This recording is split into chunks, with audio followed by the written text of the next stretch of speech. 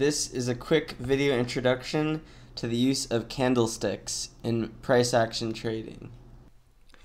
Since candlestick and bar charts are the fundamental interface of the price action trader, the most basic unit is the candle or bar itself. Uh, these candles sum up the price action over a set period of time. So on a five minute chart, each candle represents five minutes of price behavior, whereas on a daily chart, only one candle is produced per day. The body of the candle constitutes the range between the opening price and closing price, whereas the wicks or shadows of the candle indicate the high and low over that period of trading. Uh, different color schemes are used to determine whether the price movement is bullish, increasing in price, or bearish, decreasing in price. Bullish candles are usually white, blue, or green, whereas bearish candles are black or red. Longer candle bodies demonstrate strong momentum and decisive market behavior in the movement from open to close. Longer shadows, however, demonstrate increased volatility since some prices were reached during the time period uh, but ultimately excluded from the range between open and close.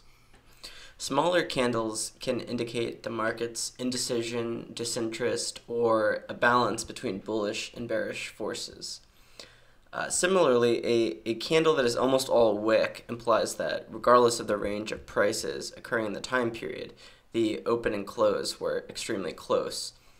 Uh, these candles are referred to by the Japanese term doji. A doji, or a small candle with a very long wick in one direction, is referred to as a pin bar, which is often interpreted as a sign of potential trend reversal. Uh, by contrast, a Marubozu candle has a large body and almost no wick, implying that price action has been more definitive over that time. Uh, there are two rudimentary patterns that play out over at least two candlesticks. An outside bar is a bar with a higher high and a lower low than the previous candlestick, often with a body that also encompasses the price range of the previous bar's body. Um, and a variation is the engulfing bar, which just has a higher open and a higher close regardless of the relative size of the wicks. The other pattern is the inside bar, which is a bar or series of bars with high and low encompassed by the preceding candle.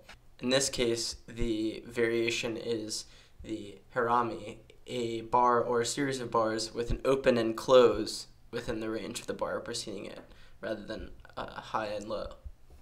All right, this has been the candlesticks segment of the price action video course. Thanks for watching. If you've got any questions or if you've got some knowledge to share, please check out our learning community at informedtrades.com. Thanks for watching and good luck with your trading.